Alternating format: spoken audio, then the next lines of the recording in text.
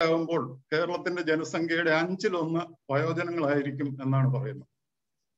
ഇന്ത്യയിൽ തന്നെ ഏറ്റവും ഉയർന്ന ശരാശരി ആയുർദൈർഘ്യമുള്ള അതായത് എനിക്ക് തോന്നുന്നു കേരളത്തിലെ ആയുർദൈർഘ്യം ശരാശരി എഴുപത്തിയാറ് വർഷമാണെന്ന് എനിക്ക് തോന്നുന്നു അങ്ങനെയുള്ള ഒരു സംസ്ഥാനത്ത് ഇവിടെ അടുത്ത കാലത്ത് നടന്ന വേറൊരു സർവേയിൽ പറയുന്നത് വയോജനങ്ങളിൽ അൻപത്തിയഞ്ച് ശതമാനവും തനിയെ താമസിക്കുന്നവരാണ്. ഈ വയോജനങ്ങളുടെ വർദ്ധിച്ചു വരുന്ന എണ്ണവും അവരുടെ സംര സംരക്ഷണവും വലിയൊരു സാമൂഹിക പ്രശ്നമായി ഉയർന്നു വരുന്നു എന്ന തിരിച്ചറിവിലാണ് രണ്ടായിരത്തി ഏഴിൽ നമ്മുടെ രാജ്യത്ത് ഒരു വയോജന സംരക്ഷണ നിയമം പാസാക്കിയത്. അതിന്റെ ആ നിയമത്തിന്റെ title maintenance and welfare of parents and senior citizens act two thousand seven എന്നാണ്.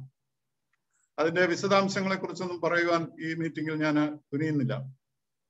അപ്പോൾ ഈ പ്രത്യേക സാഹചര്യം നിലനിൽക്കുന്ന ഇന്ത്യയിലെ സംസ്ഥാനങ്ങളിൽ ഏറ്റവും മുൻപന്തിയിലാണ് കേരളം നിൽക്കുന്നത്. രണ്ടാമത്തെ കാരണം ഈ മഹാമാരിയുടെയും ലോക്ക്ഡൌണിന്റെയും കാലത്ത് ഏറ്റവും അധികം കഷ്ടപ്പെടുന്നതും നമ്മുടെ ആശങ്കകൾ വർദ്ധിപ്പിക്കുന്നതും ഈ വയോജനങ്ങളുടെ സംരക്ഷണത്തെ കുറിച്ചാണ്. അവർക്ക് സഹായിപ്പാനായിട്ട് ആരുമില്ല. അവരുടെ പ്രായാധിക്യം കൊണ്ട് അവർക്ക് സ്വയം സഹായം തേടുവാൻ നിവൃത്തിയില്ല. എന്തെങ്കിലും സംഭവിച്ചാൽ തന്നെ അയലോ അയൽവക്കത്തുള്ളവർക്ക് പോലും വന്ന് സഹായിപ്പാൻ കഴിയാത്ത ഒരു അവസ്ഥയിലാണ് അവരുടെ ജീവിതം എന്നുള്ളതാണ്. ഈ പ്രത്യേക കാരണങ്ങൾ കൊണ്ട് ഇന്ന് ശ്രീമതി അമ്മക്കുട്ടി കോശി തെരഞ്ഞെടുത്തിരിക്കുന്ന ആ വിഷയം വളരെയധികം പ്രസക്തമാണ് എന്ന് പറയുവാൻ ഞാൻ ഈ അവസരത്തിൽ ആഗ്രഹിക്കുകയാണ്. ഇന്നത്തെ ഈ മീറ്റിംഗിൽ നമ്മോട് സംസാരിക്കാമെന്ന് സന്നദ്ധത അറിയിച്ചതിനും അതിലുപരിയായിട്ട് ഈ വിഷയം തിരഞ്ഞെടുത്തതിനും വൈസ് മിനിറ്റ് അമ്മുക്കുട്ടി കോശിയെ ഞാൻ അനുമോദിക്കുന്നു.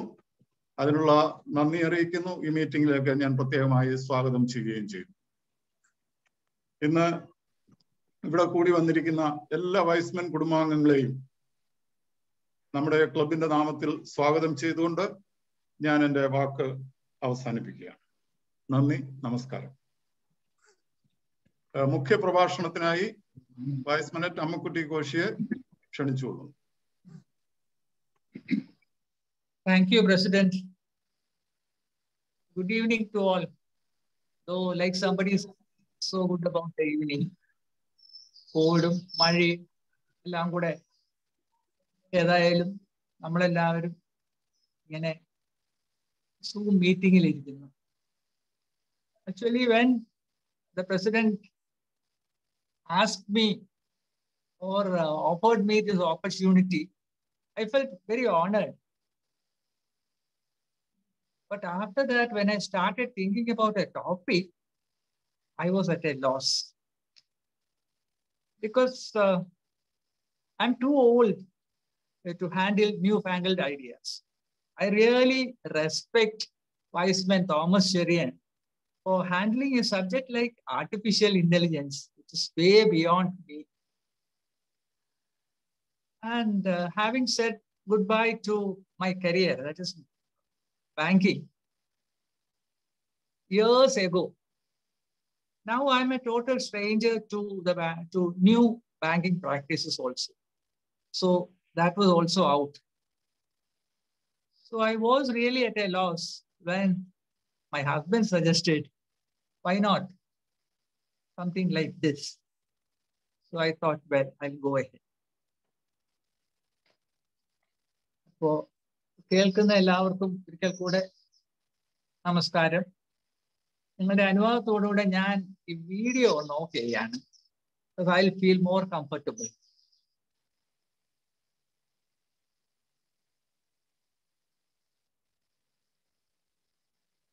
ഈ അടുത്ത സമയത്ത് വായിച്ച ഒരു കവിതയിലെ ഒരു വരി മനസ്സിൽ തട്ടി. Being born is old enough to die കേൾക്കാമോ? കേൾക്കാമോ? വീഡിയോ ഓഫ് ചെയ്താണോ? വീഡിയോ ഓഫ് ചെയ്ത്. I feel more comfortable this day I hope you don't mind അപ്പൊ being born is old enough to die ജനിക്കുന്ന നിമിഷം മുതൽ നമ്മൾ മരിക്കാനും പാകമാണെന്നുള്ളത്. നവജാത ശിശുക്കൾ മരിക്കുന്നു. ആരും കാലത്തിന് അതീതരായി. തിരുമേനി മരിച്ചപ്പോ പത്രക്കാരെഴുതി തിരുമേനി കാലം ചെയ്തു എന്ന്. ഈ ജയിലിലെ ജയിൽ ശിക്ഷയൊക്കെ ചെയ്യുന്ന പോലെ. ഈ കംപ്ലീറ്റഡ് ഹിസ് ടേം കാലം കംപ്ലീറ്റ് ചെയ്തു. കാലം ചെയ്തു. ഓരോരുത്തർക്കും ഒരു കാലം നിശ്ചയിക്കപ്പെട്ടിട്ടുണ്ട്. അത് പൂർത്തിയാക്കുമ്പോൾ നമ്മൾ ഓരോരുത്തരും വിട പറയും. ഏത് ജീവിയുടെ മനുഷ്യരുൾപ്പെടെ കാലത്തിന് പല ഘട്ടങ്ങളുണ്ട്. ശൈശവം ബാല്യം യൗവനം വാർദ്ധക്യം അങ്ങനെ. ഓരോ അവസ്ഥയിലും ശരീരത്തിന് പല പല മാറ്റങ്ങൾ വരുമെന്നുള്ളത് പ്രകൃതിയുടെ നിയമം. ഒരു കണ്ണാടിയുടെ മുമ്പിൽ നിന്ന് സ്വന്തം ശരീരത്തെ ആകെ ഒന്ന് വീക്ഷിക്കുമ്പോൾ ആ വാസ്തവം പറഞ്ഞാൽ നമ്മളൊക്കെ വാർദ്ധക്യത്തെ ആദ്യമായിട്ട് അഭിമുഖീകരിക്കുന്നു. തല മുതൽ താഴോട്ടൊന്ന് നോക്കുമ്പോൾ നെറ്റി പണ്ട് ഇത്ര ഉണ്ടായിരുന്നോ എന്നൊരു സംശയം. ഒന്ന് ഒതുക്കി വെക്കാൻ പാടുപെട്ടിരുന്ന ആ കറുത്ത് മിനുത്ത തലമുടിയൊക്കെ എവിടെ പോയി? തുടുത്തിരുന്ന കവിളുകളൊക്കെ എവിടെ? ആലില പോലെ പരന്നിരുന്ന അടിവയറ് എന്നാ ഇത്രയും വീർത്ത് തൂങ്ങിയത്? ആ പാടി ഒരു വല്ലായ്മ. വല്ലായ്മയുടെ കണ്ണാടിയുടെ മുമ്പിൽ നിന്ന് മാറി നമ്മുടെ ജീവിത പങ്കാളിയെ ഒന്ന് നോക്കുമ്പോഴോ വിവാഹ ഫോട്ടോയിലെ ആൾ തന്നെ ആണോ ഇത്? എന്ന് ഒരു സംശയം. ഒരു കാര്യം നമ്മൾ മനസ്സിലാക്കേണ്ടത് ശരീരത്തിന് പ്രായാനുസരണമായ മാറ്റങ്ങൾ വരുമെന്നുള്ളത് പ്രകൃതി നിയമം. കുറച്ചു നാളൊക്കെ നമുക്ക് കൃത്രിമ മാർഗങ്ങൾ ഉപയോഗിച്ച് ഈ മാറ്റങ്ങളെ മറച്ചു വെക്കാം വെല്ലുവിളിക്കാം. പക്ഷെ ആത്യന്തികമായി പ്രകൃതി അഥവാ കാലം വെളിപ്പെടും. അതുകൊണ്ട് പ്രകൃതി അനുസരണമായ മാറ്റങ്ങളെ അംഗീകരിക്കാൻ നമ്മൾ തയ്യാറാണ്. ഓരോ പ്രായത്തിനും ഓരോ അവസ്ഥയ്ക്കും അതിന്റെതായ ഗ്രേസ് അതിന്റെതായ സൗന്ദര്യം ഉണ്ട്. അതനുസരിച്ച് അതിനെ അംഗീകരിക്കാൻ അതിനെ സ്വീകരിക്കാൻ നമ്മുടെ മനസ്സിനെ പാകപ്പെടുത്തുക ഇരുപതുകാരും പത്ത് വയസ്സുകാരനെ പോലെ ചിന്തിക്കുകയും പെരുമാറുകയും ചെയ്യുന്നുവെന്ന് ഓർത്തു നോക്കി. അതിനെക്കാട്ടിലും അപഹാസ്യമായിരിക്കും എഴുപതുകാരൻ നാൽപ്പതുകാരനെ പോലെ ആകാൻ ശ്രമിക്കുന്നത് അല്ലെ? പ്രായമാവുമ്പോൾ നമ്മുടെ ശരീരത്തെ ശരീരത്തിന് പ്രായമായി എന്നുള്ളത് അംഗീകരിക്കുക പ്രായമായ ശരീരത്തെ സ്വീകരിക്കുക അംഗീകരിക്കുക. ഇത് ചെയ്താൽ തന്നെ നമ്മുടെ ജീവിതത്തിൽ ഒരുപാട് എന്താ പറയുക സംഘർഷങ്ങൾ ഒഴിവായി കിട്ടും. ഏത് യന്ത്രമായാലും ഏത് മെഷീൻ ആയാലും കാലപ്പഴക്കം കൊണ്ട് തേയ്മാനവും കേടും ഒക്കെ ഭവിക്കും. കാലാകാലങ്ങളിൽ അറ്റകുറ്റപ്പണികളും മെയിന്റനൻസും ഒക്കെ നടത്തിയാണല്ലോ നമ്മളൊക്കെ വണ്ടി ഓടിക്കുന്നത്.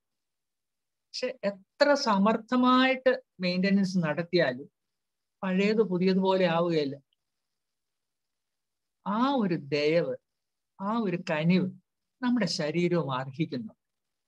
ഈ എയ്ഡ്സ് ആൻഡ് പെയിൻസ് എന്ന് വൈദ്യലോകം കാറ്റഗറൈസ് ചെയ്യുന്ന ചെറിയ ചെറിയ വേദനകളും അസ്വസ്ഥതകളും ഒന്നും മാറ്റാവതല്ല എന്ന് തിരിച്ചറിയാം പണ്ടൊരാൾ പറഞ്ഞ പോലെ മാങ്കറ പറ്റിയാലേ അതൊക്കെ പോവുള്ളൂ എന്ന് പറഞ്ഞാൽ ചുടല വരെ അതൊക്കെ ഉണ്ടായിരിക്കുന്നുണ്ട് അപ്പൊ അതോടുകൂടെ പ്രായത്തോട് ചേർന്ന് വരുന്ന എയ്ഡ്സ് ആൻഡ് പെയിൻസ് ഒക്കെ അതിനോട് കൂടെ ജീവിക്കാൻ പഠിക്കും. കഴിയുന്നതും സ്വന്തം വേദനകളെയും അസുഖങ്ങളെയും പറ്റി സംസാ അധികം സംസാരിക്കാതിരിക്കുക. അതേസമയം നമ്മൾ ആരോഗ്യ സംരക്ഷണത്തിൽ കൂടുതൽ ശ്രദ്ധിക്കണം. പ്രായമായവർ പ്രത്യേകിച്ച് ശ്രദ്ധിക്കേണ്ട കാര്യം ഭക്ഷണം. ഭക്ഷണം ലഘുവാണ്. വളർച്ചയുടെ കാലം കഴിഞ്ഞു പ്രായമായവർ. പിന്നെ മെയിന്റനൻസിന് മാത്രം വേണ്ടുന്ന ഭക്ഷണം മതി. പഴയ ആ ഒരു ചൊല്ല ഓർക്കുക. ഒരു നേരം ഭക്ഷിക്കുന്നവൻ യോഗി രണ്ടു നേരം ഭക്ഷിക്കുന്നവൻ ഭോഗി മൂന്ന് നേരമായാൽ രോഗി നാല് നേരം ആയാൽ ദ്രോഹി എന്നാണ്. അതായത് അപ്പൊ അമിത ഭക്ഷണം ഒഴിവാക്കുക. ശാസ്ത്രം അനുശാസിക്കുന്നത് പോലെ ഇലക്കറികളും പഴവർഗങ്ങളും ഒക്കെ കൂടുതലാക്കുക. അപ്പൊ ചോദിക്കും നമ്മൾ എന്ത് പഴവർഗമാ? ധൈര്യത്തോടെ വാങ്ങിച്ചു കഴിക്കുന്ന? നമ്മുടെ പറമ്പിലും നമ്മുടെ ചുറ്റുപാടും ഒക്കെ ഉണ്ടാകുന്ന ചക്ക മാങ്ങ ഓമയ്ക്ക ഒക്കെ കഴിക്കുക. പിന്നെ ധാരാളം വെള്ളം കൂടുതൽ കൂടുതൽ വെള്ളം കുടിച്ചാൽ കൂടുതൽ പ്രാവശ്യം ടോയ്ലറ്റ് അപ്പൊ അതിന്റെ അസൗകര്യവും പ്രയാസവും ഒക്കെ ഓർത്ത് പ്രായമായവർ പലരും വെള്ളം കുടിക്കുന്നത് കുറയ്ക്കും. പക്ഷേ ഓർക്കുക നമ്മുടെ ശരീരത്തിൽ അടിഞ്ഞുകൂടുന്ന മാലിന്യങ്ങൾ ടോക്സിൻസ് ഒക്കെ ഫ്ലഷ് ചെയ്ത് കളയാൻ വെള്ളം കുടിച്ചേ പറ്റും. പച്ചവെള്ളമാണേ. പച്ചവെള്ളത്തിന്റെ കാര്യമാണ് പറയുന്നത്. അപ്പൊ വെള്ളം ധാരാളം കുടിക്കുക. ഫ്ലഷ് ചെയ്ത് പോട്ടെ. അതുപോലെ ഭക്ഷണം പോലെ തന്നെ പ്രധാനമാണ് വ്യായാമം. വിശപ്പിന് വല്ലതും കഴിച്ച് ടി വിയും കണ്ട് കസേരയിലങ്ങ് കുത്തിയിരിക്കുന്നത് ഒട്ടും ആശ്വാസില്ല ശരീരം അനു അനുവദിക്കുന്ന വ്യായാമ മുറകൾ ചെയ്യുക. പെട്ടെന്ന് ഒരു ദിവസം പോയി ടെന്നീസോ ബാഡ്മിന്റനോ ഒന്നും കളിക്കാനല്ല പറയുന്നത്. അത് ചെറുപ്പം മുതലേ തന്നെ ചെയ്യുന്നതാണെങ്കിൽ കുഴപ്പമില്ല. പക്ഷെ പ്രായമായി കഴിഞ്ഞ് അതൊക്കെ തുടങ്ങുന്നത് വളരെ വളരെ സൂക്ഷിച്ചു വേണം പക്ഷെ ഏത് പ്രായക്കാർ എല്ലാവർക്കും തുടങ്ങാവുന്നതും തുടരാവുന്നതും ആണ് നടപ്പ്. ദിവസവും ഒരു നാൽപ്പത് നാൽപ്പത്തഞ്ച് മിനിറ്റ് നടക്കുക. ആ നടപ്പ് തന്നെ ട്രെഡ്മില്ലേ ചെയ്യാതെ പുറത്തിറങ്ങി പ്രകൃതിയിലെ കാഴ്ചകളൊക്കെ കണ്ട് ആകാശത്തെ മേഘങ്ങളെയും മരം ചുറ്റുമുള്ള മരങ്ങളെയും ചെടികളെയും ഒക്കെ കണ്ടുകൊണ്ട് നടന്നാൽ അത് ശരീരാരോഗ്യത്തോടൊപ്പം മാനസിക ആരോഗ്യത്തിനും നല്ലതാണ്. നമ്മളെല്ലാവരും പ്രാർത്ഥിക്കുന്ന ഒരു കാര്യമാണ് കിടന്നു പോയി സ്വന്തം ആവശ്യങ്ങൾക്ക് മറ്റുള്ളവരെ ആ ആശ്രയിക്കാൻ ഇടയാകരുതേ. അപ്പൊ അതിനായിട്ട് നമുക്ക് ചെയ്യാവുന്ന കാര്യമാണ് നമ്മുടെ ആരോഗ്യം സംരക്ഷിക്കുക എന്നുള്ളത്. അപ്പോൾ അത് ഭക്ഷണം കഴിഞ്ഞു വ്യായാമം കഴിഞ്ഞു ഇതുപോലെ തന്നെ ഇമ്പോർട്ടന്റ് ആണ് ഉറക്കം. വളരെ പ്രധാനപ്പെട്ട ഒരു കാര്യമാണ് ഉറക്കം. ആഹാരത്തെക്കാളും ഒരുപക്ഷെ പ്രധാനം എന്ന് പറയാം. മാനസികാരോഗ്യത്തിനും ഉറക്കം ഏറ്റവും ആവശ്യം. വിഷാദം വിഷമം ഏകാന്തത ശത്രുത വിരസത ഇതൊക്കെ ശരിയായിട്ടൊന്ന് ഉറങ്ങിയാൽ മാറാനുള്ളത്. ദിവസം എട്ട് മണിക്കൂറെങ്കിലും ഉറങ്ങണം. എന്നും ഒരേ സമയത്ത് കിടക്കുന്നത് ഉറക്ക ഉറങ്ങാൻ സഹായിക്കും. ഉറങ്ങുന്നതിന് അര കിടക്കുന്നതിന് ഒരു അര മണിക്കൂർ മുമ്പേ എങ്കിലും ടി വി അങ്ങ് ഓഫ് ചെയ്ത് ടി വി ഓഫ് ചെയ്തിട്ട് പല നല്ല പുസ്തകങ്ങളൊക്കെ വായിച്ച് പതിവ് സമയത്ത് എന്നും ഏതാണ്ട് ഒരേ സമയത്ത് തന്നെ കിടക്കും.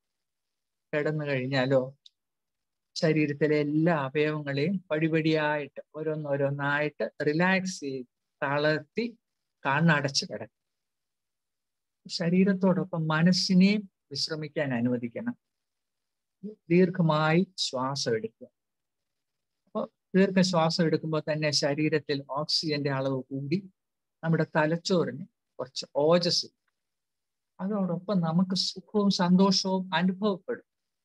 ഇതിന്റെ കൂടെ ചെറുതായിട്ടൊന്ന് പുഞ്ചിരിക്കുകയും കൂടെ ചെയ്താൽ മനസ്സ് വളരെ പ്രശാന്തമായി നമ്മൾ അറിയാതെ ഉറക്കത്തിലേക്ക് അങ്ങ് വഴിതിരിയും ഉറങ്ങാൻ കിടക്കുമ്പോഴാണല്ലോ പോയ കാലത്തിലെ വിഷമങ്ങളും വേദനകളും വരും കാലത്തെ പറ്റിയുള്ള ആശങ്കകളും ഒക്കെ മനസ്സിനെ അലട്ടാൻ വരുന്നത്. ഈ ദീർഘശ്വാസവും പുഞ്ചിരിയും കൊണ്ട് അതിനെയൊക്കെ അകറ്റാൻ പറ്റും. ഓരോ ദിവസവും അവനാ അവനവനാൽ കഴിയുന്നത് ചെയ്യുക. നിത്യ ജീവിതത്തിൽ അടുക്കും ചിട്ടയും ഉണ്ടെങ്കിൽ സംതൃപ്തിയോടെ ഉറങ്ങാൻ പറ്റും. ഭക്ഷണമായി വ്യായാമമായി ഉറക്കവും ശരീരം ഏതാണ്ട് ഒരു ഒരു നിലയിലായെന്ന് നമുക്ക് വിചാരിക്കാം. ഇനി നമ്മുടെ വൈകാരികവും മാനസികവുമായിട്ടുള്ള കാര്യങ്ങളിൽ നോക്കിയാൽ ഒരു ജോലി ഉണ്ടായിരിക്കെ അതിൽ ഒരുവിധം നല്ലതായിട്ടൊക്കെ ശോഭിക്കുകയും ചെയ്ത ഒരാൾക്ക് ജോലിയിൽ നിന്ന് വിരമിച്ചു കഴിയുമ്പോൾ പെട്ടെന്നൊരു ശൂന്യതാ ബോധമുണ്ട് അന്നേരമാണ് നേരത്തെ സമൂഹത്തിൽ ഉണ്ടായിരുന്ന നിലയും വിലയും ഒക്കെ താൻ എന്ന വ്യക്തിയുടേതായിരുന്നില്ല. താൻ ഇരുന്ന കസേരയുടേതായിരുന്നു എന്ന് തിരിച്ചറിയുമ്പോഴുണ്ടാകുന്ന ആ ഒരു ഒരു നഷ്ടബോധം. ശരിക്കും പറഞ്ഞ യേശു ക്രിസ്തുവിനെ ചുമന്ന കഴുതയുടെ അവസ്ഥയായിരിക്കും. പിറ്റേന്നത്തെ അവസ്ഥയായി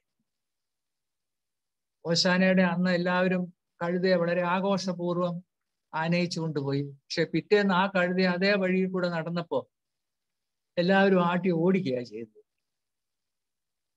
ഫ്യൂസായ ബൾബ് പോയി എത്ര പവർ കൂടിയ എത്ര വില കൂടിയ ബൾബ് ആയാലും ഫ്യൂസ് ആയി കഴിഞ്ഞാൽ പിന്നെ സീറോ വോട്ട് പോലെയേ ഉള്ളൂ. വളരെ പ്രശസ്തനായിരുന്ന ഒരു വ്യക്തിയുടെ മരണശേഷം അദ്ദേഹത്തിന്റെ സെക്രട്ടറി ആയിരുന്ന ആൾ പറഞ്ഞത് ആന ചത്തുപോയ പാപ്പാന്റെ അവസ്ഥയിലാണ് ഞാനെന്ന്. അതായത് ആന ജീവനോടെ ഇരുന്നപ്പോൾ ഒരുപാട് പേര് പല പല ആവശ്യങ്ങൾക്ക് പാപ്പാനെ സമീപിച്ചിരുന്നു. ആന വാൽ വേണോ അത് വേണോ പക്ഷെ ആന ചരിഞ്ഞു കഴിഞ്ഞപ്പോ പാപ്പാനെ പിന്നെ ആരും കണ്ട മട്ടില്ല. ഞാൻ ഈ പറയുന്നത് ഡോക്ടേഴ്സ് വക്കീലന്മാര് നല്ല വീട്ടമ്മമാര് അവർക്കൊന്നും ബാധകമല്ല. കാരണം അവരൊക്കെ സമർത്ഥരാണെങ്കിൽ മരണം വരെയും അവരുടെ കർമ്മമണ്ഡലത്തിൽ തുടരാം. ഈ അധികാരത്തിന്റെ ഉന്നത ശ്രേണികളിലൊക്കെ ഇരിക്കുമ്പോൾ സമൂഹത്തിൽ എവിടെ ചെന്നാലും മാനിക്കപ്പെടും. ഇരിക്കാൻ കസേര കിട്ടും കുടിക്കാൻ ഇളനീരില്ലെങ്കിൽ പച്ചവെള്ളമെങ്കിലും കിട്ടും. പരിചയപ്പെടാനും പരിചയം പുതുക്കാനും ധാരാളം പേര് വരും.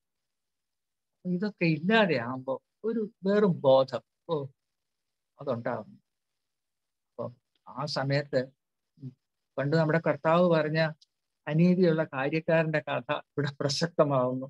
പദവിയിൽ ഇരിക്കുമ്പോൾ നല്ല സുഹൃത്തുക്കളെ ഉണ്ടാക്കുക. അത് കഴിയുമ്പോൾ സാമൂഹ്യ പ്രവർത്തനത്തിൽ പങ്കാളികളാകും മുതിർന്ന പൗരന്മാരുടെ സീനിയേഴ്സിന്റെ അനുഭവ ജ്ഞാനം ആവശ്യമുള്ള അനേകം പ്രവർത്തന മേഖലകളുണ്ട്. പ്രതിഫലം ആഗ്രഹിക്കും പ്രതിഫലം ആഗ്രഹിക്കാതെ നമ്മുടെയൊക്കെ അറിവുകൾ കഴിവുകൾ ഒക്കെ പങ്കുവെച്ചാൽ നമുക്ക് സമൂഹത്തിൽ എന്നും നില വില ഉണ്ടായിരിക്കും. വില മതിക്കപ്പെടും. വാർദ്ധക്യത്തിൽ തലവേദനയാകുന്ന ഒരു കാര്യമാണ് സാമ്പത്തികം. ധനസംബന്ധമായിട്ടുള്ള കാര്യങ്ങൾ. എനിക്ക് വർത്തമാനം പറഞ്ഞുകൊണ്ടിരുന്ന ഒരു സംഭാഷണ മധ്യ ഒരാൾ പറഞ്ഞു. അടുത്ത ഏഴ് തലമുറയ്ക്ക് വേണ്ടുന്ന സ്വത്ത് ഞാൻ സമ്പാദിച്ചു വെച്ചിട്ടുണ്ട്. കേട്ടോണ്ടിരുന്ന ഒരാൾ പറഞ്ഞു ഷോ ആ എട്ടാമത്തെ തലമുറ എന്ത് ചെയ്യും? നമുക്ക് കേട്ട ചെറുതായിട്ട് ചിരി വരാം. എന്നാലും നമ്മുടെ മക്കളെ വേണ്ട സമയത്ത് വേണ്ട രീതിയിൽ പഠിപ്പിക്കുക അവർക്ക് വേണ്ടുന്നതൊക്കെ ചെയ്യുക. പക്ഷെ അവരെ ജോലി ചെയ്ത് സ്വയം സമ്പാദിക്കാൻ തുടങ്ങിയാൽ പിന്നെ അവരുടെ പേർക്ക് മാതാപിതാക്കൾ ചെലവ് ചുരുക്കി പിശുക്കി മിച്ചം പിടിക്കേണ്ട കാര്യമില്ല. ആവശ്യമില്ല. ആ റിട്ടയർമെന്റ് ജീവിതം ആവും പോലെയൊക്കെ അവനവൻ ആസ്വദിക്കുക ആസ്വാദ്യമാക്കുക. യാത്രകൾ പോകാൻ യാത്ര പോകാൻ ഇഷ്ടമുണ്ടെങ്കിൽ യാത്ര പോവുക. അത് കഴിയുന്നതും സമപ്രായക്കാരോടൊത്താണെങ്കിൽ എല്ലാവരുടെയും ആവതുകളും ആവതില്ലായ്മയും ഒക്കെ ഏതാണ്ട് ഒരുപോലെ ആയിരിക്കും. അപ്പൊ എല്ലാവരും അങ്ങോട്ടും ഇങ്ങോട്ടും പരസ്പരം താങ്ങാവും കരുതലാവും അതുകൊണ്ട് കഴിയുന്നതും സമപ്രായക്കാരോട് ചേർന്ന് യാത്ര പോകും യാത്ര ഇഷ്ടമല്ലേ? പണം മുടക്കിയുള്ള സാമൂഹ്യ പ്രവർത്തനങ്ങൾ. ചെയ്യാമല്ലോ? അതുപോലെ തന്നെ നമ്മുടെ നെയ്ബർഹുഡ് കൂട്ടായ്മകളിൽ അയൽക്കൂട്ടങ്ങളിൽ ഒക്കെ സജീവമാകും. ഒരു കാര്യം ഓർക്കണം. നമ്മുടെ ആവശ്യം അല്ലെങ്കിൽ നമ്മുടെ ഉപയോഗം കഴിഞ്ഞ് മിച്ചമുള്ളത് മതി മക്കൾക്ക് കൊടുക്കാൻ. നമ്മുടെയൊക്കെ നമ്മുടെ തലമുറയുടെ കാര്യം ഓർത്താൽ വർഷങ്ങൾ ജോലി ചെയ്ത് റിട്ടയർമെന്റ് സമയത്ത് നമുക്ക് കിട്ടിയിരുന്ന ശമ്പളത്തെക്കാട്ടിലും വളരെ അധികമാണ് നമ്മുടെ മക്കൾക്ക് ജോലിയിൽ കയറുമ്പോൾ കിട്ടും അതുകൊണ്ട് തന്നെ നമ്മുടെ ഒരു ലക്ഷത്തിൽ നമുക്ക് തോന്നുന്ന അത്രയും വില നമ്മുടെ മക്കൾക്ക് തോന്നും. അത് നമ്മൾ ഓർക്കുക. പിന്നെ ശ്രദ്ധിക്കേണ്ട ഒരു കാര്യമുണ്ട്. നമ്മുടെ നമ്മൾ മിച്ചം വെക്കാൻ പോകുന്ന സ്വത്ത് നമ്മുടെ സമ്പാദ്യം ഒക്കെ എങ്ങനെയാണ് ഉപയോഗിക്കേണ്ടത് എങ്ങനെ പങ്കിടേണ്ടത് എന്നുള്ളതിന് വ്യക്തമായ നിർദ്ദേശങ്ങൾ നേരത്തെ തന്നെ എഴുതി വെക്കും വിൽപ്പത്രം എഴുതി വെച്ചിട്ടുണ്ടെങ്കിൽ അനന്തരാവകാശികൾക്ക് കോടതി കയറാതെ എയർഷിപ്പ് സർട്ടിഫിക്കറ്റ് സക്സസ്ഷിപ്പ് സർട്ടിഫിക്കറ്റ് ഇങ്ങനെയുള്ള സർട്ടിഫിക്കറ്റുകൾക്കൊക്കെ ആയിട്ട് അലയാതെ ഒരുപാട് ബുദ്ധിമുട്ടുകൾ ഒഴിവായി അതുകൊണ്ട് അത് ശ്രദ്ധിക്കുക. ബാങ്ക് പോസ്റ്റ് ഓഫീസിലെ ഒക്കെ അക്കൗണ്ടുകൾ രണ്ടു പേരുടെ പേര് ഐതർ ഓർ സർവൈവർ ആർക്കെങ്കിലും ഒരാൾക്ക് ഓപ്പറേറ്റ് ചെയ്യാം. എന്നുവെച്ചാൽ രണ്ടുപേരിൽ ആർക്ക് വേണമെങ്കിലും ഓപ്പറേറ്റ് ചെയ്യാവുന്നത് പോലെ ആക്കി വെക്കുക. ഇതൊക്കെ ചെയ്തു വെച്ചാൽ നമ്മുടെ മക്കൾ അല്ലെങ്കിൽ നമ്മുടെ അനന്തരാവകാശികൾ നമുക്ക് നന്ദി പറയും. സീനിയേഴ്സ് അഭിമുഖീകരിക്കുന്ന ഒരു വലിയ പ്രശ്നമാണ് ഏകാന്തത. മക്കളൊക്കെ വളർന്ന് അവരവരുടേതായിട്ടുള്ള വഴികൾ തേടി ലോകത്തിന്റെ നാനാഭാഗത്തേക്കും പോയി കഴിയുമ്പോൾ നമ്മുടെയൊക്കെ വലിയ വീട്ടിലെ മുറികളൊക്കെ ഉപയോഗശൂന്യമാവും. കിടക്കമുറികളൊക്കെ അടഞ്ഞു കിടക്കും പൊടി പിടിക്കും. സിറ്റിംഗ് റൂമിലെ സോഫകൾ ശൂന്യമാവും. ഇരിക്കാൻ ആരുമില്ല. കേട്ടിട്ടുണ്ട്. അമേരിക്കയിലൊക്കെ പ്രായമായി കഴിയുമ്പോൾ പേരൻസ് ഡൗൺ സൈസ് ചെയ്യും. അതായത് വലിയ വീടുകൾ ഉപേക്ഷിച്ച് അല്ലെങ്കിൽ വിറ്റ് ചെറിയ വീടുകളിലേക്ക് മാറുമെന്ന്. നമ്മുടെ ഇവിടെ അത് എനിക്ക് തോന്നുന്നു ചിലയിടത്തെങ്കിലും ഒക്കെ ആരംഭിച്ചിട്ടുണ്ട്. ഡൗൺ സൈസിങ് എന്ന് പറയാവുന്ന പരിപാടി. ഈ സമയത്ത് നമ്മുടെ വീട്ടിലോട്ട് ഒന്ന് കയറി വരാൻ ആരെങ്കിലും ഉണ്ടായിരിക്കുക എന്ന് പറയുന്നത് വലിയൊരു അനുഗ്രഹം അതൊരു ആവശ്യവും കൂടി. അപ്പൊ അതിനായിട്ട് നമ്മൾ നല്ല സുഹൃത്ത് ബന്ധങ്ങൾ ഉണ്ടാക്കണം. അത് ആവശ്യം. നമ്മുടെ അയൽക്കാരുമായിട്ട് നല്ല ബന്ധം സ്ഥാപിക്കുക സജീവമായ ബന്ധം സ്ഥാപിക്കുക. ഓർക്കണം അകലെയുള്ള മക്കളെക്കാട്ടിലും അകലെയുള്ള ബന്ധുക്കളെക്കാട്ടിലും ഒക്കെ നമുക്ക് ആവശ്യ സമയത്ത് ഉപകരിക്കുന്നതും നമുക്ക് എപ്പോഴും ആസ്വദിക്കാവുന്നതുമാണ് അടുത്തുള്ള നമ്മുടെ അയൽക്കാരും നമ്മുടെ സുഹൃത്തുക്കളും ഒക്കെ അതുകൊണ്ട് എപ്പോഴും അത് നല്ല ബന്ധങ്ങൾ നമ്മുടെ ഇമ്മീഡിയറ്റ് നെയ്ബർ ഒക്കെ ഉണ്ടായിരിക്കാൻ നമ്മൾ ശ്രദ്ധിക്കുക. പിന്നെ ഒരു കാര്യം വളരെ പ്രധാനപ്പെട്ട ഒരു കാര്യം ഓർക്കണം. ഇതൊരു വൺ വേ ട്രാഫിക് അല്ല.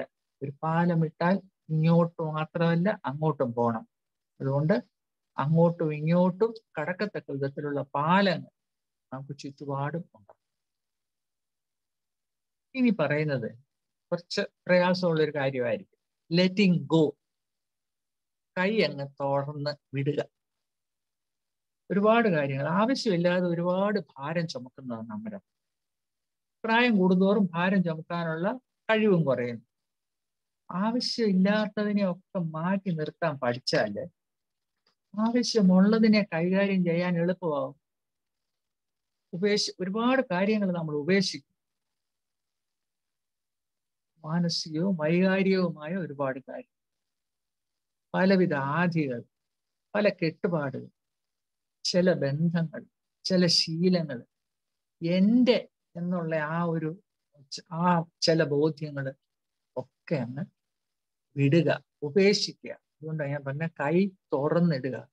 കാരണം കുഞ്ഞുണ്ണി മാഷ് പറഞ്ഞ പോലെ ചിന്തിച്ചാൽ ഒരു അന്തവുമില്ല ചിന്തിച്ചില്ലേൽ ഒരു കുന്തവുമില്ല നമ്മൾ ചിന്തിച്ച് വ്യാകുലപ്പെടുന്നത് കൊണ്ട് ഒരു മാറ്റവും വരാത്ത കാര്യങ്ങളെ കുറിച്ച് നമ്മൾ ചിന്തിച്ചിട്ട് എന്ത് കാര്യം? ചിന്തിക്കാതിരിക്കുക. എളുപ്പമല്ലെന്ന് എനിക്കറിയാം. എന്നാലും ചിന്തിക്കുക ചിന്തിക്കാതിരിക്കുക. ഒരു പ്രാർത്ഥന കേട്ടിട്ടുണ്ട്. Lord give me the courage to change the things I can and the wisdom to accept those things I cannot change മാറ്റാൻ പറ്റാത്ത കാര്യങ്ങളെ കുറിച്ച് ഓർത്ത് തല തലപുണ്ണാക്കാതെ മനസ്സ് വിഷമിക്കാതെ കൈ തുറന്ന് അല്ലെങ്കിൽ മനസ്സ് തുറന്ന് അതിനെയൊക്കെ വിട്ട് കളയാനും കൂടെ നമ്മൾ ശ്രമിക്കുക. ശ്രമിച്ചാൽ പറ്റും. പിന്നെ നാൽപ്പത് വയസ്സായ മകനെയോ മകളെയോ ഒക്കെ ഉപദേശിക്കണമെന്നൊക്കെ തോന്നും. അവരുടെ ജീവിതത്തിൽ ഇടപെടണം എന്നൊക്കെ തോന്നുമ്പോൾ ആ പ്രായത്തിൽ നമ്മൾ എങ്ങനെയായിരുന്നെന്നൊന്ന് ഓർക്കണം. നമ്മൾ ഉപദേശങ്ങളോട് എങ്ങനെയൊക്കെയാണ് പ്രതികരിച്ചതെന്നും ഒക്കെ ചിന്തിക്കുക. നമ്മുടെ മക്കളുടെ ജീവിതം അവരുടേതാ. അവർ ജീവിക്കട്ടെ. അവർക്ക് ഇഷ്ടമുള്ള വിധത്തിൽ അവർ ജീവിക്കട്ടെ. അവരാവശ്യപ്പെടുകയാണെങ്കിൽ മാത്രം നമ്മുടെ അഭിപ്രായം പറയും. അവരുടെ കുഞ്ഞുങ്ങളെ അവർ വളർത്തട്ടെ. നമ്മുടെ മക്കളെ നമ്മൾ വളർത്തിയ പോലെ അവരുടെ കുഞ്ഞുങ്ങളെ നമ്മുടെ കൊച്ചുമക്കളെ അതായത് നമ്മുടെ കൊച്ചുമക്കളെ നമുക്ക് ലാളിക്കാം. അവരുടെ കളിക്കൊന്തലുകൾ നമുക്ക് ആസ്വദിക്കാം. നമുക്ക് അവരുടെ കൂടെ സമയം ചെലവഴിക്കാം. അവർക്ക് നമ്മളാൽ കഴിയുന്ന അതൊക്കെ പകർന്നു കൊടുക്കാം. പക്ഷേ അവരെ ശിക്ഷിക്കാൻ പോകാതിരിക്കുന്നതാണ് നല്ലത്. അത് അവരുടെ മാതാപിതാക്കൾക്ക് വിട്ടുകൊടുക്കും. നമ്മുടെ വയ്യാത്ത പ്രായത്തിൽ കൊച്ചുമക്കൾ നമ്മുടെ ഉത്തരവാദിത്വമാകാതിരിക്കട്ടെ. അതായത് ഇവരെ വളർത്തുന്ന ഉത്തരവാദിത്വം അവരുടെ മാതാപിതാക്കൾ. ഇത്രയൊക്കെ പറഞ്ഞു. കൊച്ചു കൊച്ചു കാര്യങ്ങളിൽ പോലും സന്തോഷം കണ്ടെത്താൻ അതൊരു ശീലമാക്കിയാൽ നമ്മുടെയൊക്കെ ജീവിതം ഒരുപാട് സംതൃപ്തമാകും. വെറുപ്പും പകയും ഒക്കെ മനസ്സിൽ നിന്ന് മാറ്റുക. സ്നേഹവും സന്തോഷവും മനസ്സിൽ നിറച്ചാൽ ഏത് വാർദ്ധക്യവും സുഖമാണ്. എല്ലാറ്റിലും ഉപരിയായിട്ട് ആ പാട്ടുണ്ടല്ലോ ഈശ്വര ചിന്ത ചെയ്ത് ഒന്നേ മാത്രം ശാശ്വതമേ ഉലകിൽ പ്രാർത്ഥനയ്ക്ക് സമയമെടുക്കുക പ്രത്യേകിച്ച് ഈ കോവിഡ് സമയത്ത് നമ്മളിൽ നിന്ന് അകന്നും ദൂരെയും ഒക്കെ ആയിരിക്കുന്ന എല്ലാവരെയും ഓരോരുത്തരെയും പ്രാർത്ഥനയിൽ ദൈവം പാകെ ഓർക്കും. നമുക്ക് ലഭിച്ചുകൊണ്ടിരിക്കുന്ന ഓരോ ദിവസവും നമുക്ക് എന്തുമാത്രം എന്തെല്ലാം അനുഗ്രഹങ്ങൾ ചെറുതും വലുതുമായ അനുഗ്രഹങ്ങൾ സന്തോഷിക്കാനുള്ള അവസരങ്ങൾ ഒക്കെ നമുക്ക് ലഭിക്കുന്നു. ഈ കിട്ടിക്കൊണ്ടിരിക്കുന്ന എല്ലാ അനുഗ്രഹങ്ങൾക്കും എല്ലാ സന്തോഷങ്ങൾക്കുമായിട്ട് ദൈവത്തിന് നന്ദി പറഞ്ഞുകൊണ്ടിരിക്കുക. അപ്പൊ നന്ദി നിറയുന്ന ഒരു ഹൃദയം സ്നേഹം നിറഞ്ഞ ഒരു ഹൃദയം. ഉണ്ടായിരിക്കുന്നതാണ്. വാർദ്ധക്യത്തിൽ സന്തോഷവും സംതൃപ്തിയും ഉണ്ടാകാനുള്ള ഏറ്റവും നല്ല മാർഗം. ഇത്രയൊക്കെയാണ് ഞാൻ ടോപ്പിക്ക് പറഞ്ഞപ്പോ old age its problems and some solutions എന്നാണ് പറഞ്ഞത്. നമ്മുടെ പ്രസിഡന്റ് പറഞ്ഞപ്പോ ആ സം അങ്ങ് വിട്ടുപോയി. എന്നാലും ഇത്രയൊക്കെ ഞാൻ എന്റെ സ്വന്തം എക്സ്പീരിയൻസിൽ നിന്നും ഒക്കെ തോന്നിയതും ഒക്കെ അങ്ങനെ പറയാണ്. കേട്ടിരുന്നവര് എന്തുമാത്രം അതിനെ സ്വീകരിക്കുമെന്ന് എനിക്ക് അറിഞ്ഞുകൂടാ. എന്നാലും കേട്ടിരുന്നതിന് നന്ദി. എല്ലാവർക്കും നമസ്കാരം.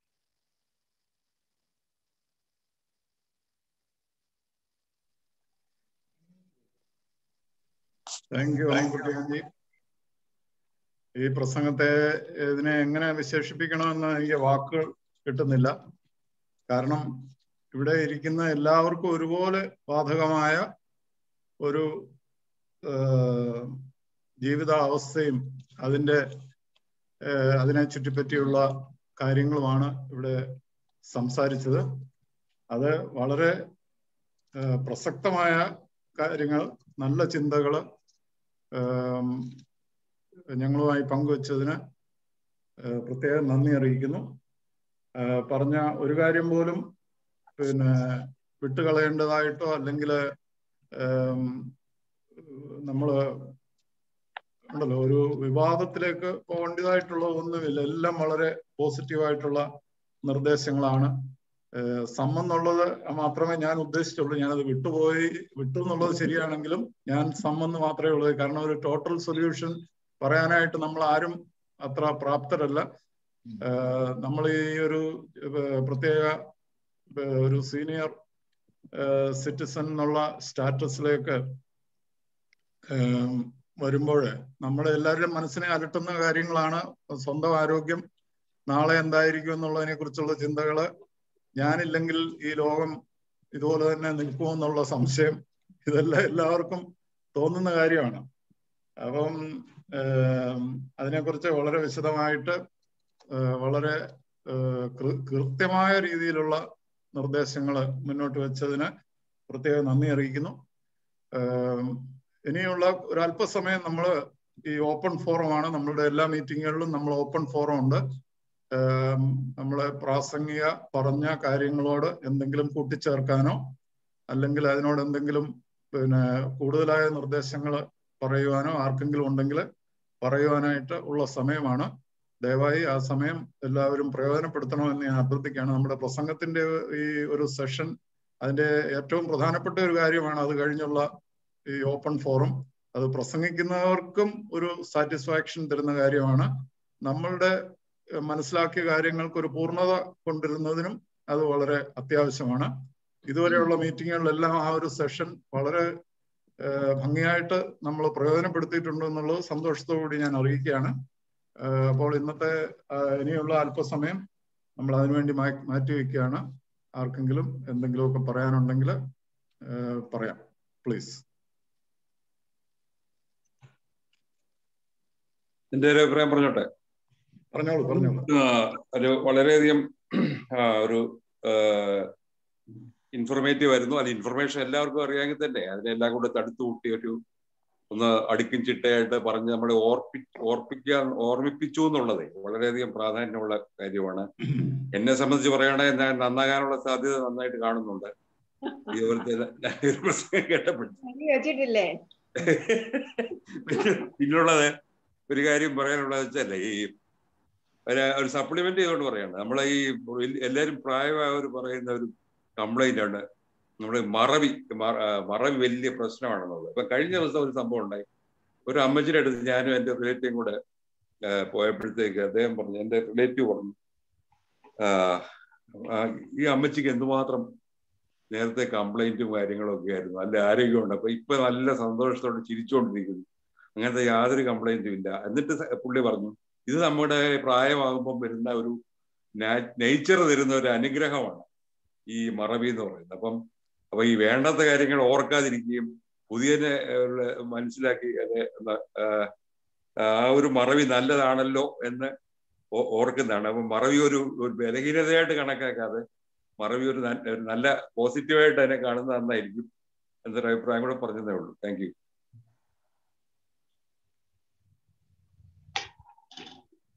അമ്മക്കുട്ടി ആന്റിയുടെ പ്രസംഗം എല്ലാ മേഖലയും ഒരുപോലെ ടച്ച് ചെയ്തുകൊണ്ടാണ് കുട്ടിയാഞ്ചി സംസാരിച്ചത്. എന്തെങ്കിലും അതിന്റെ അകത്തൊന്ന് ആഡ് ചെയ്യാനുണ്ടോ ഞാൻ നോക്കിയിട്ട് ഒന്നും തന്നെ ഇല്ല. ചിന്തിക്കാത്തതുപോലും അതിന്റെ അകത്ത് വന്നിട്ടുണ്ട്.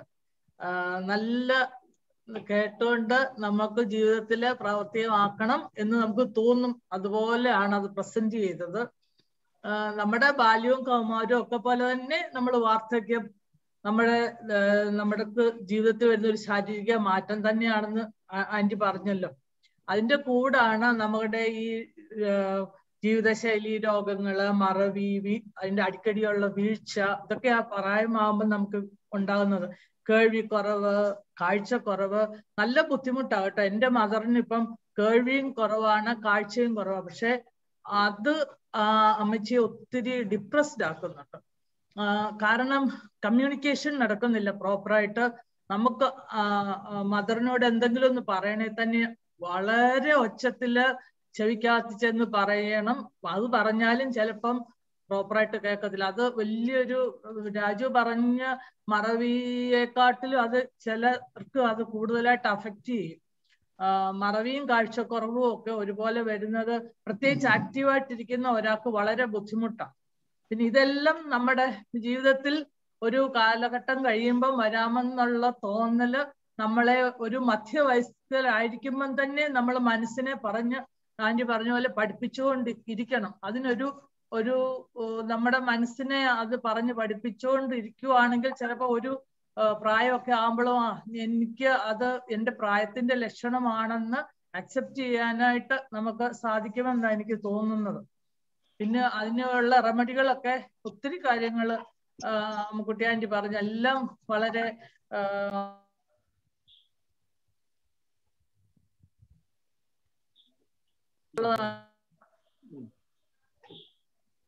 മ്യൂട്ടായി പോയി.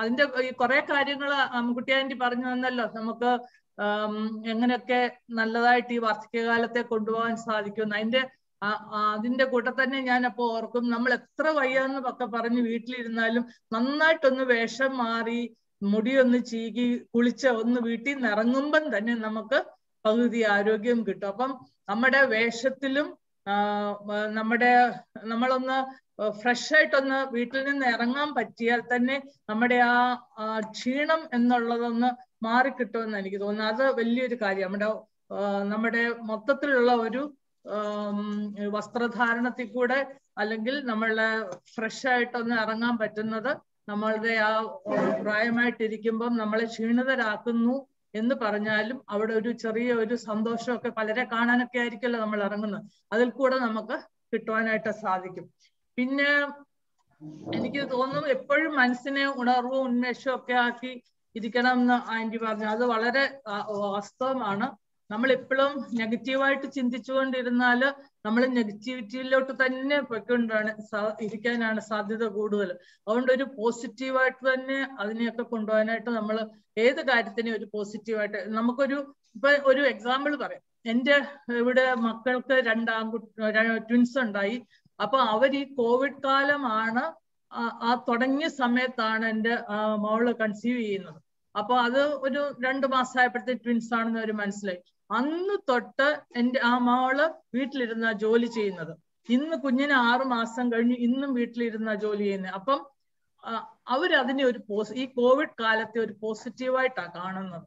കാരണം നമ്മളെല്ലാം കഷ്ടതയാണ് ബുദ്ധിമുട്ടാണെന്നൊക്കെ നമുക്കറിയാം. എങ്കിൽ പോലും അവരതിനെ ഒരു വലിയൊരു പോസിറ്റീവായിട്ട് ദൈവം ഞങ്ങൾക്ക് അതിനുള്ള ഒരു അവ അവസരം ഉണ്ടാക്കി തന്നു എന്നിട്ടാ ഞങ്ങൾക്ക് കുഞ്ഞുങ്ങളെ തന്നതെന്നാണ് അവർ അവരുടെ ടെസ്റ്റിമണി അങ്ങനെ അവർ പറയുന്നത്. അതായത് നമുക്കെല്ലാം പ്രയാസങ്ങളൊക്കെ ജീവിതത്തിൽ വരുമെങ്കിലും അവിടെയൊക്കെ ഒരു പോസിറ്റിവിറ്റി കണ്ട് അതിനെ മുന്നോട്ട് കൊണ്ടുപോകാനായിട്ട് നമുക്ക് കഴിയണം. ഈവൻ ഞാനും ചിലപ്പം തളരുമായിരിക്കും. എങ്കിൽ പോലും എന്റെ മനസ്സിൽ പറയുന്ന അങ്ങനെ ചെയ്യണം എന്ന് മനസ്സിൽ ഞാൻ പറയുന്നുണ്ട്. നമ്മൾ അങ്ങനെ കൊണ്ടുപോകണമെന്നാണ് ആഗ്രഹം. പിന്നെ എനിക്ക് തല ചിലപ്പം തോന്നി ഇപ്പോഴത്തെ കൊച്ചു കുട്ടികൾക്കൊന്നും ഈ കൂട്ടുകുടുംബം അല്ലാത്തതുകൊണ്ട് പ്രായമുള്ളവരെ എങ്ങനെ പരിരക്ഷിക്കണം? അല്ലെ അവരോട് എങ്ങനെ ബിഹേവ് ചെയ്യണം? അവരെ എങ്ങനെ ഒന്ന് ടേക്ക് കെയർ ചെയ്യണം എന്നൊന്നും ഇപ്പോഴത്തെ കുഞ്ഞുങ്ങൾക്കൊന്നും അറിയത്തില്ല.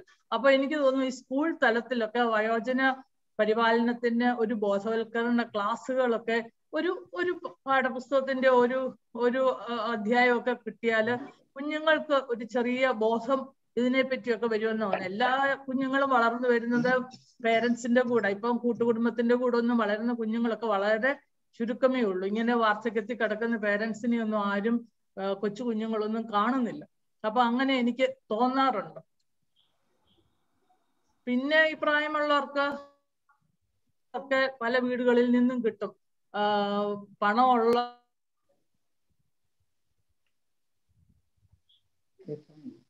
മ്യൂട്ടായി പോയി മ്യൂട്ടാണ് മ്യൂട്ടായി അങ്ങനെ അതൊരു വലിയ ബുദ്ധിമുട്ടായിട്ട് ചില കുടുംബങ്ങളിൽ ഈ അവഗണന പ്രായമുള്ളവർക്ക് കിട്ടുന്നതായിട്ട് കാണുന്നുണ്ട്. പ്രത്യേകിച്ച് ഈ സാമ്പത്തികമായിട്ട് ബുദ്ധിമുട്ടൊക്കെ കൂടുണ്ടെങ്കിൽ അതിന്റെ തീവ്രത കൂടും. അത് അത് മമ്മൂട്ടിയാന്റെ പറഞ്ഞ പോലെ നമ്മുടെ നമ്മുടെ ജോലി ചെയ്യുന്ന കാലത്ത് ഒരല്പം നമുക്ക് വേണ്ടിയുള്ളത് കരുതുന്നത് ഏറ്റവും നല്ലത് തന്നെയാണെന്ന് ഇത് കേട്ടപ്പോൾ മനസ്സിലായി. പിന്നെ നല്ല ചുറുചുറുക്കോടെ നടക്കുന്ന പേരൻസിനോടാണേലും മക്കൾ പറയും വീട്ടിലിരുന്ന് കൂടെ എന്തിനാ ഇങ്ങനെ പോകുന്നതെന്നൊക്കെ ചോദിക്കും. കാരണം വെല്ല പോയി അപകടമൊക്കെ വരുമോ എന്നൊക്കെ ഓർത്തായിരിക്കും. പക്ഷെ അത് അവരുടെ ഒരു സന്തോഷമാണ് ഒരു അഡ്വർടൈസ്മെന്റ് ടി വി കണ്ടത് ഓർക്കുന്നുണ്ട്. പക്ഷെ അത് ഞാൻ എപ്പോഴും അത് സാധാരണ അഡ്വർടൈസ്മെന്റ് കണ്ടാൽ ഞാനത് മാറ്റി കളയും. പക്ഷെ ഈ അഡ്വർടൈസ്മെന്റ് ഭയങ്കര എനിക്ക് ഇഷ്ടമാണ് കാരണം ഒരു അപ്പൻ അമ്മയും ഒരു മോന് മോൻ അടുക്കളയിൽ നിൽക്കുന്നു അമ്മ അവിടെ ഇരിപ്പുണ്ട്. അപ്പം പറയും ഞാൻ എന്റെ പിന്നെ വാട്ടർ ബില്ല് ഒന്ന് അടച്ചിട്ട് വരട്ടെ എന്ന് ചോദിക്കും. അപ്പം പറയും വേണ്ട ഞാനത് അടച്ചു എന്ന് മോൻ പറയും. പേ ഫോണിൽ കൂടെ അവനങ്ങ് പണം അടയ്ക്കും. അത് കഴിയുമ്പോൾ ഇലക്ട്രിസിറ്റി ബില്ല് അടച്ചിട്ട് വരാമെന്ന് പറയും. അതും അവൻ സമ്മതിക്കത്തില്ല. ഞാൻ അടച്ചു എന്ന് പറയും. അത് കഴിഞ്ഞ് ലാസ്റ്റിൽ കുറെയൊക്കെ അയാൾ ഇങ്ങനെ ആലോചിച്ചു പറയും എന്റെ മുടി മുറിച്ചിട്ട് വരട്ടെന്ന് മുടി കട്ട് ചെയ്യാൻ പോവാണെന്ന് പറയും.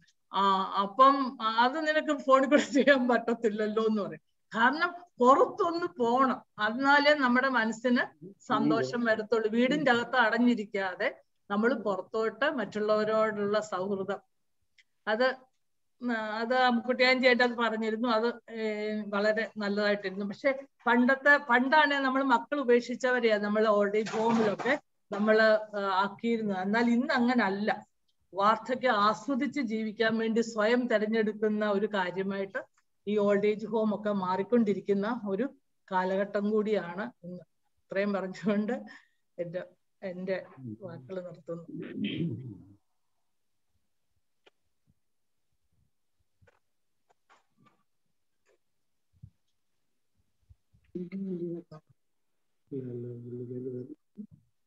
ആരെങ്കിലും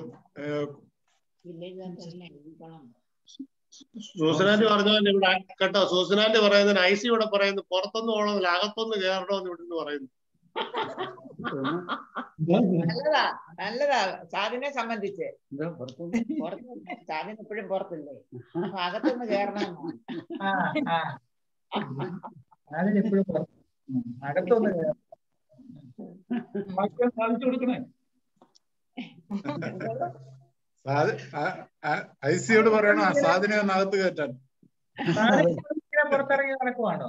അല്ല സാധനം പുറത്ത് നിർത്തിയിരിക്കുക മഴയത്ത്. ഞാൻ അനി സനോജ് ആണേ ആ പറഞ്ഞോളൂ പറഞ്ഞോളൂ. വളരെ വളരെ വളരെ പറഞ്ഞ എല്ലാ കാര്യങ്ങളോടും രാജൻ ലൈറ്റ് ഇട്. ലൈറ്റ് പോയ? കേട്ടോ അമ്മുട്ടി അമ്മുക്കുട്ടിയാണ്ടി വളരെ നല്ല എനിക്ക് തോന്നുന്നത് അമ്മുക്കുട്ടിയാണ്ടി ഒരു സ്ഥിരം ഒരു ഒരു ഒരു എന്താ പഗ്നി എന്ന്- പഗ്നി എന്നൊക്കെ പഗ്നി എന്നൊക്കെ പറയുന്ന പോലെ. ഒരു പ്രോഗ്രാമായിട്ട് ഇത് ഇതല്ല ഏത് സബ്ജക്റ്റിനെ കുറിച്ചും നല്ല നല്ല സരസമായിട്ട് സംസാരിക്കും. ഈ പല നമ്മൾ ഒത്തിരി കാര്യങ്ങൾ ഇതുപോലെ വാട്സപ്പ് ചെയ്യുന്നുണ്ട്. ഒരു സ്ഥിരം പ്രോഗ്രാമായിട്ട് ഇത് തുടങ്ങണമെന്നാണ് എനിക്ക് ഒരു അഭ്യർത്ഥനയുണ്ട് അത് ഒത്തിരി ആൾക്കാർക്ക് പ്രയോജനം ചെയ്യും. ഇതിൽ കൂടെ എന്നെ അപ്രീസിയേഷൻ വേണം അമ്മു?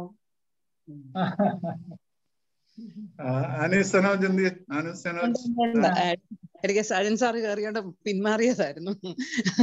അപ്പൊ അമ്കുട്ടിയാന്റി പറഞ്ഞ എല്ലാ കാര്യങ്ങളോടും യോജിക്കുന്നു. അപ്പൊ ആ ജനറേഷന്റെ ഒരു ഇപ്പുറത്തെ ജനറേഷൻ ആണല്ലോ ഞങ്ങൾ. അപ്പം ഞങ്ങൾ നിൽക്കുന്ന ആ ജനറേഷനെ ആലോചിക്കുമ്പോൾ ആ, ഇപ്പം അമ്കുട്ടിയാനി പറഞ്ഞ നിങ്ങളുടെ ജനറേഷന് കിട്ടുകയും ആലോചിക്കുകയും ചെയ്യുന്ന കാര്യങ്ങളുടെ ഒരു മുപ്പത് ശതമാനം പോലും ഞങ്ങൾ ഈ ഒരു ഏജിലേക്ക് വരുമ്പോൾ ഞങ്ങൾക്ക് കിട്ടത്തില്ല എന്നുള്ള കാര്യത്തിൽ വളരെയധികം ഉറപ്പുള്ള ഒരു ജനറേഷനാണ് ഞങ്ങൾ. അതുകൊണ്ട് തന്നെയാണ് ഇപ്പം ഒരു പരിധി വരെ ഇപ്പം എന്റെ അമ്മയാണെങ്കിൽ സർവീസിലിരിക്കുന്ന കാലത്ത് അമ്മ പറയുന്നത് എനിക്ക് റിട്ടയർ ചെയ്തതിന് ശേഷം എനിക്ക് അവിടെ പോകണം എനിക്ക് ഇവിടെ പോണം ഒക്കെ ആഗ്രഹിച്ചു. നടന്നില്ല. വളരെ നേ റിട്ടയർ ചെയ്ത് വളരെ പെട്ടെന്ന് മരിച്ചു പോവുകയും അങ്ങനെ ഒന്നും സാധിച്ചില്ല. അപ്പം അത് ഞങ്ങളിൽ ഞങ്ങളുടെ ജനറേഷനിൽ വന്ന് വന്നപ്പം ഞാനിപ്പം ചിന്തിക്കുന്നത് ഞാൻ എനിക്കിപ്പോ ആയിരിക്കുന്ന സമയത്ത് തന്നെ ഞാൻ ആ ലൈഫ് നമ്മുടെ ഒരു ആഗ്രഹങ്ങൾക്കനുസരിച്ച് അതിനൊരു മിതമായ രീതിയിൽ ജീവിക്കണം. അല്ലാതെ നമുക്ക് അടുത്ത ഒരു പത്ത് വർഷത്തിനപ്പുറം എത്തിയിട്ട് നമുക്ക് ചെയ്യാവുന്ന ഒരു കാര്യത്തിലേക്ക് മാറ്റി വെക്കുന്ന രീതി മാറി. പിന്നെ ഖലീൽ ജിബ്രാൻ പറഞ്ഞതിനോട് ചേർത്ത് വെച്ചിട്ട് ഈ നേരത്തെ ആമുക്കുട്ടി ആന്റി പറഞ്ഞതിനോട് ചേർത്ത് വെച്ച് പറയുക മക്കൾ എന്ന് പറയുന്ന കൺസെപ്റ്റ് നേരത്തെ ഒരു ഒരു പത്ത് വർഷം അല്ലെങ്കിൽ പതിനഞ്ച് വർഷം മുമ്പ് വരെ മക്കൾക്ക് വേണ്ടി ജീവിക്കുന്ന മാതാപിതാക്കൾ എന്നുള്ള രീതി മാറി ചിന്തിക്കേണ്ട വളരെയധികം ആവശ്യമായിരിക്കുന്നു. മക്കൾ അവർ ഈ ലോകത്തിലേക്ക് വരാൻ നമ്മളൊരു കാരണമായി എന്നല്ലാതെ അവരിൽ പ്രതീക്ഷ അർപ്പിച്ച് വയലാർ പറഞ്ഞ പോലെ ആ മാമ്പൂ കണ്ട് നോക്കിയിട്ട് കാര്യമില്ല. ആ പൂവിനെ അതിനെ മാങ്ങയാവാനും ആ മാങ്ങയെ അതിന്റെതായ രീതിക്ക് വിടാനുമുള്ള രീതിയിൽ ചിന്തിച്ചാൽ മാത്രമേ നമ്മുടെ ഞങ്ങളുടെയൊക്കെ ഒരു ജനറേഷൻ വരുമ്പോൾ നമ്മളുടെ ഭാവിയിലേക്കുള്ള കാര്യങ്ങൾ എങ്ങനെയായിരിക്കണം എന്നുള്ളതിന് ഒരു വ്യക്തമായ ധാരണയില്ലാതെ മുന്നോട്ട് പോകാൻ മേലാത്ത ഒരു അവസ്ഥ ഇപ്പം തന്നെ വന്നു കഴിഞ്ഞേക്കുന്നു. കാര്യം ഒരുമാതിരി കുടുംബങ്ങളിലൊക്കെ നോക്കി കഴിയുമ്പം തന്നെ ആ, ആ ഒരു അതായത് പ്രായമായവർ എന്നുള്ള ഒരു കൺസെപ്റ്റിലേക്ക് ചിന്തിക്കാൻ പോലും ഇപ്പോഴത്തെ ജനറേഷൻ കുട്ടികൾക്ക് പറ്റുന്നില്ല. അവരെ മാറിയാണ് ചിന്തിക്കുന്നത്. അവരെ അങ്ങനെ ഒരു ഒരു അങ്ങനെ ഒരു ഏജ് അവരുടെ ലൈഫിൽ വരും എന്നൊരു സങ്കല്പം ഇല്ലാതെ ജീവിക്കുന്ന കുഞ്ഞുങ്ങളാണ് ഇപ്പോഴത്തേത്. അപ്പം അതുപോലെ തന്നെ വേറൊരു കാര്യമാണ് തോൽവി എന്ന് പറയുന്നത് എന്താണെന്ന് അറിയാൻ മേലാത്ത പിള്ളേരായത്. അതാണ് ഏറ്റവും വലിയൊരു പ്രോബ്ലം അപ്പം നമ്മൾ ഈ നമ്മുടെ വീട്ടിലെ പ്രായമുള്ളവരാണെങ്കിലും നമ്മളാണെങ്കിലും പണ്ട് ഞാൻ ഇങ്ങനെ കഷ്ടപ്പെട്ടു എന്ന് പറയുന്ന കേൾക്കുന്നത് പോലും അവർ പുച്ഛിച്ചാണ് കാണുന്നത്. അപ്പം പിന്നെ അത് പറയാതിരിക്കുക.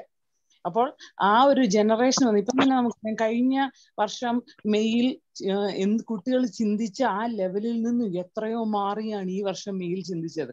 ഒരൊറ്റ വർഷത്തെ വീട്ടിലിരിപ്പുകൊണ്ട് ഇപ്പൊ ലോകത്തിന്റെ മുഴുവൻ കാര്യങ്ങൾ ഇപ്പൊ അവരുടെ കയ്യിലാണ് നമ്മളൊന്നും പറയണ്ട അതിനു മുമ്പ് അവരങ്ങ് എടുക്കും. അപ്പോൾ നമ്മുടെ ലൈഫ് നമ്മൾ തന്നെ കുറച്ചും കൂടി പ്ലാൻ ചെയ്യേണ്ട ഒരാവശ്യത്തിലേക്ക് വന്നിരിക്കുന്നു. നമുക്ക് ആന്റിയുടെ അത് ആ ഒരു ടോക്ക് വളരെ ഇൻഫർമേറ്റീവ് ആയിരുന്നു. അതൊരു നൊസ്റ്റാൾജിക് ഫീലിംഗും തന്നു ഒത്തിരി congratulations aunty okay thank you Annie ആർക്കെങ്കിലും എന്തെങ്കിലും കൂടെ ആഡ് ചെയ്യാനുണ്ടോ? ഞാൻ ഒന്ന് ആ ബോസാലി. ഓക്കെ പ്ലീസ് വളരെ നല്ലൊരു ടോക്കായിരുന്നു വാസ്തവത്തിൽ ഈ വൈസ്മൻ ഡാമക്കുടി കോശി ഒരു അധ്യാപികയും കൂടിയാണ്. ഒരു ബാങ്കിലെ ഒരു റിജണൽ മാനേജർ മാത്രമല്ല അധ്യാപികയും കൂടിയാണ്. അപ്പൊ ഓരോ ക്ലാസ് ഒക്കെ എടുക്കുന്നപ്പോഴത്തേക്ക് അതിന്റെ അടുക്കി അടുക്കി പറയുമ്പോഴത്തേക്ക് ഓരോ സ്റ്റേജസിൽ കൂടെ നമ്മൾ പോകുന്ന ആ ഒരു അവസ്ഥ നമുക്ക് ഉണ്ടാക്കിയത്. നന്നായിരുന്നു. വളരെ ലൈറ്റ് ആയിട്ട് വളരെ സരളമായിട്ട് ആ വിഷയം അവതരിപ്പിക്കാൻ പറ്റി. താങ്ക് യു വെരി മച്ച് നന്നായി. ഇപ്പൊ നമ്മൾ സംസാരിച്ചു വരുന്നത് ഒരു വിഷയം ഞാൻ കണ്ടത് അതായത് നമ്മളുടെ മക്കളുടെ പിള്ളേരെ അവർ വളർത്തിക്കോട്ടെ നമ്മൾ മാറി നിൽക്കണം. അല്ലെ നമ്മൾക്ക് വേണ്ടിയിട്ട് നമ്മൾ കരുതണം. അതൊക്കെ നല്ല കാര്യമാണ്. പക്ഷേ എനിക്കൊരു ഭയം ഇതിനകത്തുള്ളത് ഇതൊരു വെസ്റ്റേൺ ഹാബിറ്റിലേക്ക് നമ്മളുടെ പേരൻസ് മാറുമല്ലോ എന്നുള്ളത് മക്കൾ മാറിക്കോട്ടെ കുഴപ്പമില്ല. അതായത് നമ്മുടെ മക്കളുടെ കുഞ്ഞുങ്ങളെയൊക്കെ നോക്കുന്നതിലും നമ്മൾ താല്പര്യം കാണിക്കാതിരിക്കുക. അങ്ങനെ പറഞ്ഞു നമ്മുടെ നമ്മുടെ നാട്ടിലെ ഒരു കൾച്ചർ അനുസരിച്ച് നമ്മളുടെ ഒരു കുടുംബങ്ങൾ വാസ്തവത്തിൽ കൂട്ടുകുടുംബങ്ങളായിരുന്നു. പേരൻസ് മക്കളെ മക്കളുടെ ഭാര്യമാരെ അവരുടെ മക്കളെ അങ്ങനെയെല്ലാം കൂടുതൽ കൂടുന്നത് അതുകൊണ്ട് ഏറ്റവും അഡ്വാന്റേജ് ഉണ്ടായിരുന്നത് എനിക്ക് തോന്നുന്ന പ്രായമാകുന്നവർക്ക് തന്നെയായിരുന്നു. ചെറുപ്പക്കാർക്ക് കൊണ്ട് പ്രായമാകുന്നവർക്ക് തന്നെയായിരുന്നു. അപ്പൊ ഞാൻ ഓർക്കുന്നില്ല എന്റെ ഫാദർ തൊണ്ണൂറ്റി മൂന്നാമത്തെ വയസ്സിലാണ് മരിക്കുന്നത്. എന്റെ മകൻ എന്റെ മോളെ അത് കുഞ്ഞുങ്ങളാണ്. അവരാണ് ആ ഡെഡ് ബോഡിക്ക് ചുറ്റുന്നുള്ള എല്ലാ കാര്യങ്ങളും നോക്കുന്നത്. എന്ന് പറഞ്ഞാൽ ആ രോഗമായിട്ട് കിടക്കുന്ന സമയത്ത് നോക്കാനും അവരെ സ്നേഹിക്കാനും എല്ലാം ഉള്ള ഒരു താല്പര്യം കൊച്ചുകുഞ്ഞുങ്ങൾ കാണിക്കണമെങ്കിൽ പേരൻസ് ഗ്രാൻഡ് പേരൻസ് ഗ്രാൻഡ് ചിൽഡ്രനോട് കാണിക്കുന്ന ആ സ്നേഹം തിരിച്ച് കിട്ടും. കിട്ടാതിരിക്കില്ല. കിട്ടാത്ത കേസുകൾ കാണാം. എന്ന് പറഞ്ഞാലും നമ്മളത് ജനറലൈസ് ചെയ്യാൻ പറ്റുമോ എന്ന് എനിക്കറിയത്തില്ല നമ്മളിപ്പം കുഞ്ഞുങ്ങളുണ്ടെങ്കിൽ ആ കുഞ്ഞുങ്ങളുടെ ബുദ്ധിമുട്ട്. എനിക്കറിയാം എന്റെ ഒരു സുഹൃത്ത്. സുഹൃത്തിന് വിദേശത്താണ് ജോലി. ഭാര്യയും ഭർത്താവും ഉണ്ട് ആ അവർക്ക് കുഞ്ഞുണ്ടായപ്പോ വളരെ ബുദ്ധിമുട്ടുണ്ടായപ്പോഴത്തേക്ക് ഈ മനുഷ്യനെ പോകാൻ താല്പര്യമില്ല. അവർ വളർത്തിക്കോട്ടെ എന്നാ പറഞ്ഞത്. ഇന്നും അവർ വളർത്തും. എത്രമാത്രം ദുരിതത്തിൽ കൂടെയാണ് അവർ പോകുന്നത്. ആ ദുരിതത്തിൽ നമുക്ക് കൂടെ പങ്കുചേരുന്നതുകൊണ്ട് നമുക്ക് ബുദ്ധിമുട്ടുണ്ടായിരിക്കാം. പക്ഷെ ആ ബുദ്ധിമുട്ടിൽ സന്തോഷം. അതില്ലാതിരുന്നാൽ ആ മകന്റെയോ ആ മകന്റെ മകളുടെയോ ആ ഒരു സപ്പോർട്ട് നമുക്ക് പ്രായമാകുമ്പോൾ എങ്ങനെ കിട്ടുമെന്ന് എനിക്കറിയാം അതുകൊണ്ട് ആ ഒരു കൺസെപ്റ്റിനോട് പ്രായോഗികമായിട്ട് എല്ലായിടത്തും വെസ്റ്റേണിൽ അത് തന്നെയാണ് സംഭവിച്ചത്. മക്കളെ നോക്കത്തില്ല. പതിനാറ് വയസ്സാകുമ്പോൾ അവർ ചാട്ട് പുറത്താക്കും നീ നീ നീ പോയി നീ ജോലി കണ്ടുപിടിച്ചോന്നറിയാം പിന്നെ ആ മക്കളെ തിരിഞ്ഞു നോക്കത്തില്ല. അങ്ങനെയല്ല നമ്മുടെ അതുകൊണ്ട് എനിക്ക് തോന്നുന്നത് കൊച്ചുമക്കളെ ഒക്കെ നമ്മൾ ഇപ്പൊ തന്നെ സൂസനും ഗുരുവിളയും കൂടെ എന്തിനാ അവിടെ പോയിരിക്കുന്നത്? അവർ വളർത്തിക്കോട്ടെന്ന് പറഞ്ഞാൽ പോരായിരുന്നു.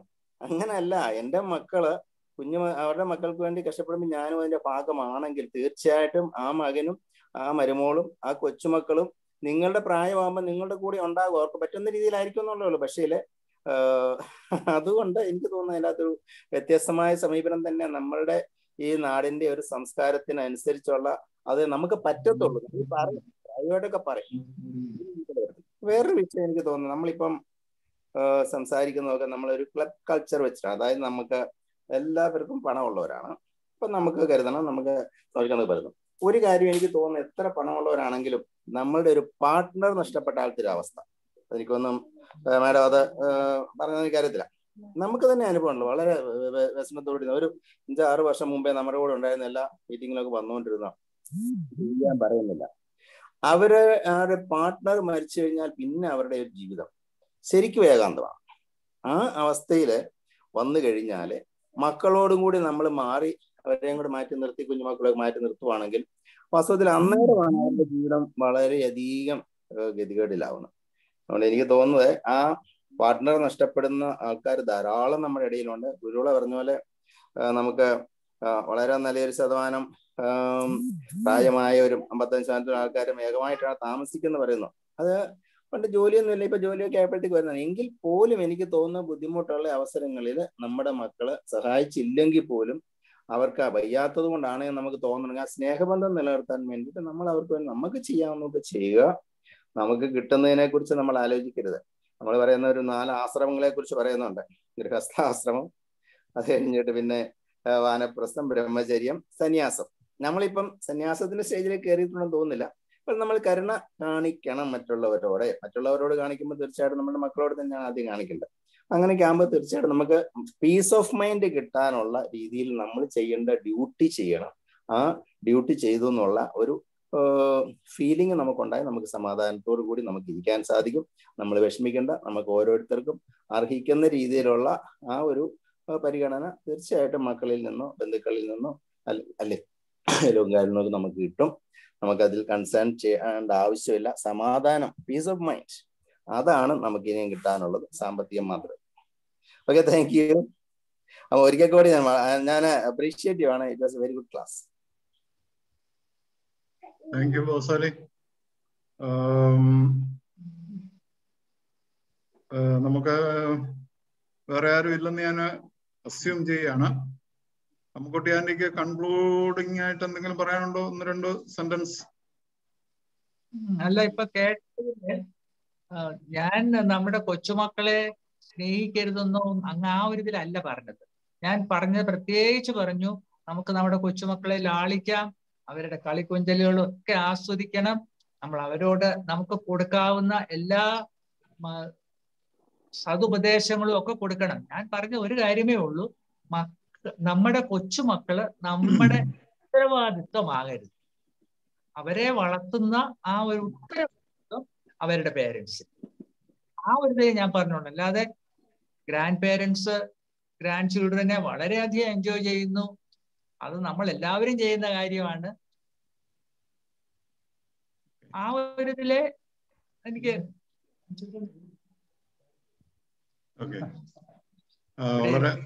ഏ ആ ഒരു ഇത് ഞാൻ ഞാൻ ഉദ്ദേശിച്ചത് അതാണ്.